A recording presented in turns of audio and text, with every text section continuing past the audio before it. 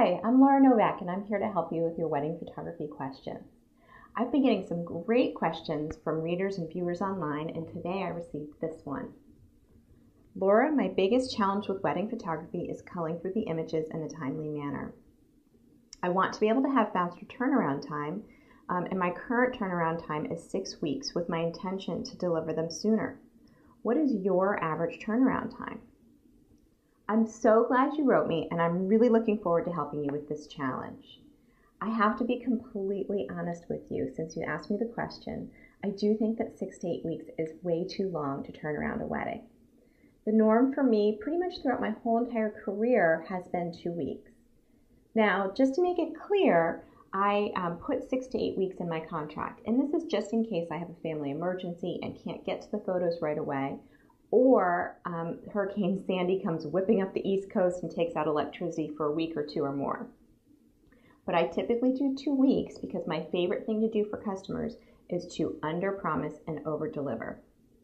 Truthfully, I'm not that concerned about the six to eight week uh, time frame for on behalf of your client because chances are they're going to be pretty happy with the photos that you took for them, which I'm sure they will be, and they'll be very excited about the, the great level of customer service that you've been providing them throughout their wedding photography. But where you lose is your opportunity to get referrals. So let me explain. What's the average time for a honeymoon? It's about two weeks, right? And what's the first thing that people ask when a bride and groom get back from their honeymoon? Oh my gosh, your wedding was so fun. Do you have any photos that you can show me? And the last thing you want them to say is, no, I don't have them yet. Or even worse, oh, yeah, sure, let me show you a few that my friend took on their iPhone. So, because honestly, four or five weeks after they get back from their honeymoon, bride and groom's still excited about their wedding. They're excited about their wedding for years. But everybody else is, well, you know. So, what can you do about this? I have three tips for you. First of all, make quicker decisions have confidence around your work, and make sure that you're editing in instead of editing out, which to me is a much more positive approach to editing. Make sure you choose your best images only and try to compare ones that look alike and just go with the best options within a series or a sequence. So, and go with your gut reaction. Don't second guess yourself because your gut reaction is typically the right one. Set a timer for yourself. So maybe an hour for to cull the getting ready photos, an hour to cull the ceremony, an hour to cull portraits, and then maybe an hour for reception. Now, take into consideration, I've been doing this for a really long time, so I have a sense of, of what works for clients and what doesn't, but it takes me about an hour to go through an entire wedding and set the images aside for raw processing.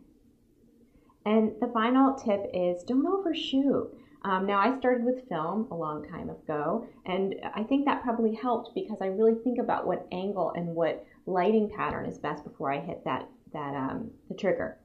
So I typically take about 1,500 images and edit down to about six to 800, and I'm really keeping the best in every series.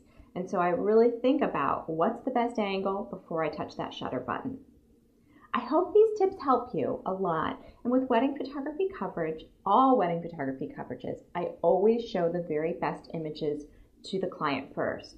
And I, the way that I do that is with a sticky album for either the iPhone or the iPad. And why do I do this? First of all, because the bride and groom get so excited when they see those great handful of images first before the whole online gallery.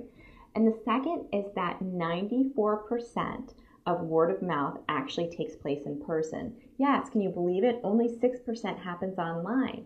So if you think about it, people probably check their Facebook in the morning or in the evening, and in between those times, they're talking to friends or family or coworkers. Of course, if they're under 18, these rules don't apply, but most people under 18 aren't getting married and hiring you for wedding photography. And then finally, when people come back from their honeymoon and everybody says, Oh my gosh, where are your wedding photos? Your wedding was so great.